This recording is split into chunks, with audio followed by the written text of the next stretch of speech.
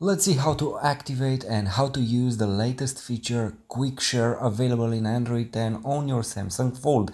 Basically Quick Share it's an improved Wi-Fi direct uh, transmission. You can send any number of file as you can see here I have more than 2000 images and you can send them with super high speed to any nearby device. All you have to do is to activate this feature and to make visible the second device and that's it. It's faster than the Wi-Fi Direct because on the Wi-Fi Direct you have to go on the secondary device to Wi-Fi, Wi-Fi Direct and to accept the files. Here you don't have to do anything on the second device. With just one tap you will see nearby devices, you press, select the device and send the files. You'll receive a pop-up message on the second device and that's it. It's fast and clean.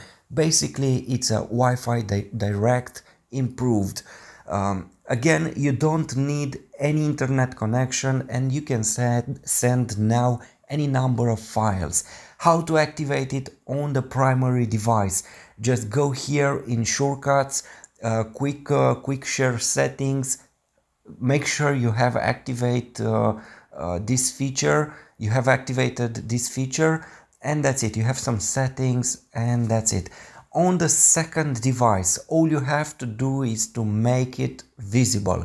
Go in um, notification panel drag this shortcut panel panel and activate a phone visibility. In this way your phone will be visible to nearby devices and that's it. Now as you can see the second device it's available uh, it's visible and you can select any number of files from your gallery file explorer or from any other application. There is no limit.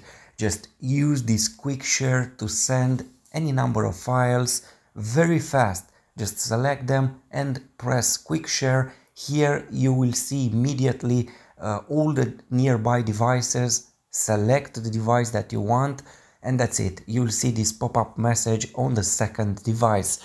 As i said now there isn't any limit uh, in the number uh, of files that you want to send. Uh, previously there was a limit as i remember uh, 500 files uh, via wi-fi direct. Uh, that's what i remember at least on android 9 um, this is it. This is quick share super fast and clean. And these are short instructions and info about it. Thanks for watching